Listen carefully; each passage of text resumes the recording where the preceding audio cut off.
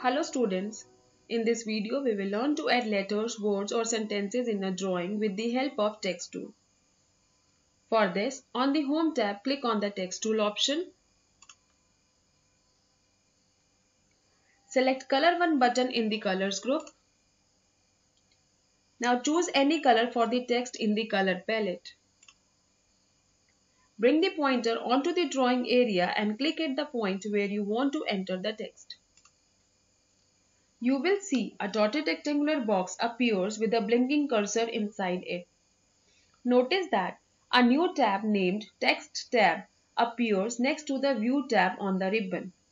This tab contains different options that help in changing the text color, size and style. Now type I love painting